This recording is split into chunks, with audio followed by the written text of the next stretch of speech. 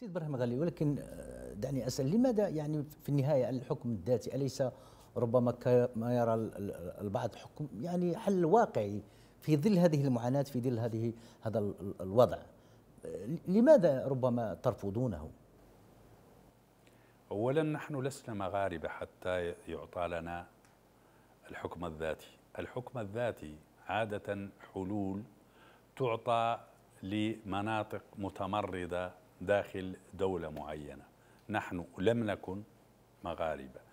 ولسنا مغاربة ولن نكن مغاربة. ومغربتنا بقوة القمع والسلاح جربت لي 45 سنة. فلم آه، آه، تجنى منها أي ثمرة.